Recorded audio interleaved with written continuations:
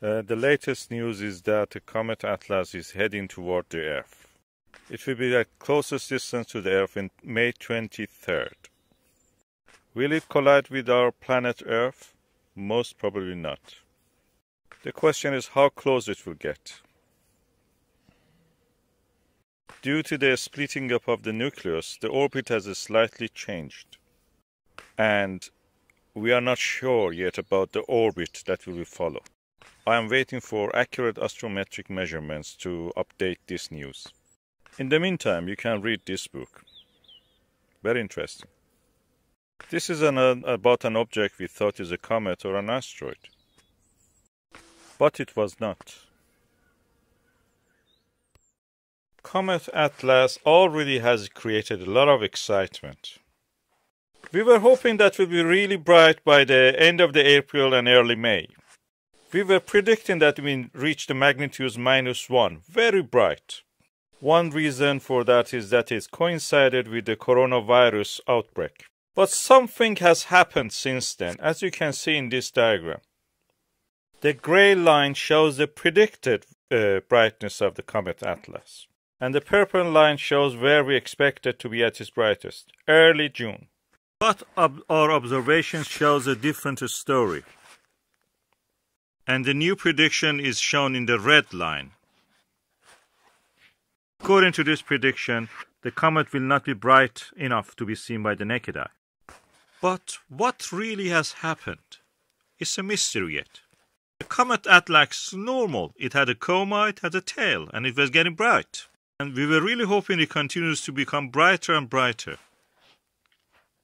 But as you know, the comets can be built of numerous boulders and particles or they may be composed of several larger pieces almost touching each other. This is what we were seeing after a while. Comet Atlas did look a little bit elongated. And it was strange because at the distance that it was, it should not really look like that. Our CCD images showed several clumps in the head of the comet. And one way to interpret is that is to assume the comet is breaking apart. But is this the end of the Comet Atlas? Probably not, or at least not yet. Some of you may remember 1993 and the comet Shoemaker-Levy. It was a faint comet which broke apart, but it got brighter. It passed too close to the Jupiter and the gravity of the giant planet broke it apart. It became a satellite of the Jupiter, was captured by it, as we say and our estimate showed that the comet may actually collide with the Jupiter. This was actually what happened. We saw it in real time. Hubble Space Telescope was ready to observe it by then. The first impact was very bright. We could see it with the, even the Earth telescopes. They were happening one after another, each part hitting the planet Jupiter. Impacts created huge fireballs, several times the size of the planet Earth. If there was any living creature on the site of impact, it was wiped out.